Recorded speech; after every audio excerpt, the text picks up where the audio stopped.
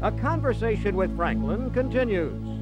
So for 24 years, Franklin, you own the Golden State Warriors, the San Francisco Golden State Warriors. You operate them yourself. You're the guy in charge. Well, I had had um, you know 24 years. I'd done, you know, uh, um, I was finding at that time in my life that the losing was getting more on me than the winning was buoying me up, and I figured it was time, you know, that I, that I that I just got out of it. I didn't want to give it all up. I wanted to have a hand in it because I love them. It's part of me. It's like a kid.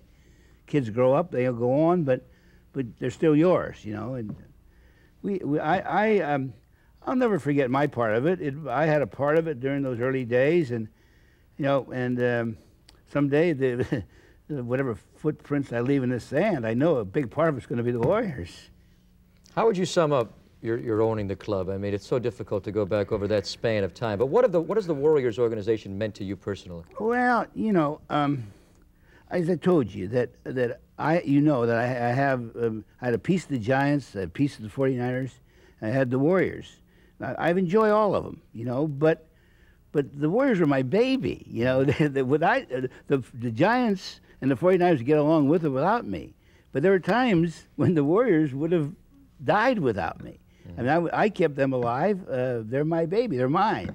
And um, uh, that, I guess, how do you how do you judge that? You know, mm. you have a romance. The romance is gone, but your kid is yours forever.